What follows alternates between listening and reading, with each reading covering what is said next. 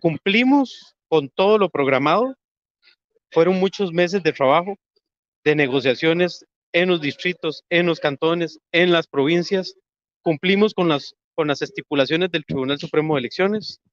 Toda la agenda se vio por completo y además la mayoría de acuerdos se tomaron por mayoría absoluta, inclusive mayorías unánimes. Eso nos alegra muchísimo porque el partido sale unido hoy frente a un proyecto que es la campaña del proceso de elección de nuevas autoridades municipales en febrero de 2024. Así que Liberación realmente es una eh, es un partido vibrante, energético, profundo en el pensamiento y también en las contradicciones. A propósito, energético y profundo, eh, puede pasar, eh, podría pasar frente al tema del género inadvertido, pero hubo cambios interesantes en temas éticos, en temas, ahí también se aprobaron el tema de la militancia. ¿Qué, ¿Qué, mensajes envían ahí, por repasar algunos aspectos, el tema de que ya no se requiere una militancia, por lo menos para este proceso? O sea, cualquier persona puede mañana presentarse como un eventual aspirante en la cantonal y el tema de eliminar eh, nepotismo, ¿verdad? Evidentemente, para no ceder esto que también al pueblo le molesta, don Miguel, que es sucesión en los puestos municipales casi como si fueran propios. Correcto.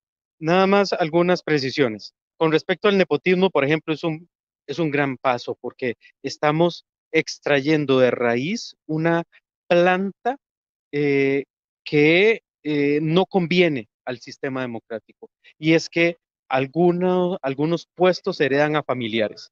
Eso hoy lo dijimos claramente, la intención de Liberación Nacional es que se erradique esa mala práctica dentro del partido y obviamente que irradie a todo el sistema democrático.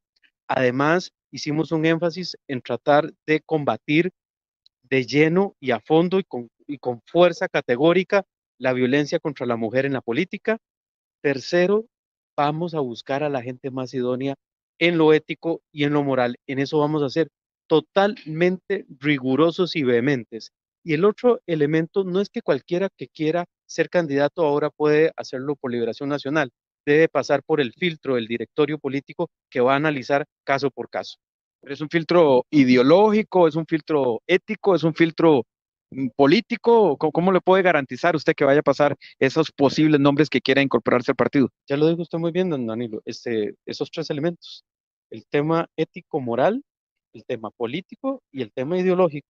Esa, ese conjunto de elementos conforman la idoneidad que nosotros estamos buscando en nuestros candidatos, ya sean liberacionistas o que en algunos casos muy particulares eh, vengan de otros partidos o de gente que fue liberacionista pero que quiere volver.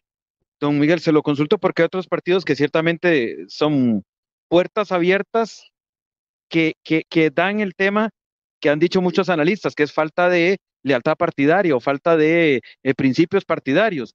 Eh, ¿Cómo Liberación puede garantizar, tratar de conservar lo que fue sus orígenes, su historia, su, su ideario en este nuevo contexto en el que le abre la puerta básicamente a, mucha gente que quiere incorporarse? Su pregunta me da pie para ser claro en algo. Hay un aspecto fundamental y es que Liberación Nacional se distingue de todos los otros partidos de que es un partido permanente es un partido ideológico, es un partido histórico y permanente. Es una enorme ventaja frente a los partidos que han emergido, que hemos dicho, los hemos denominado partidos taxi o partidos desechables.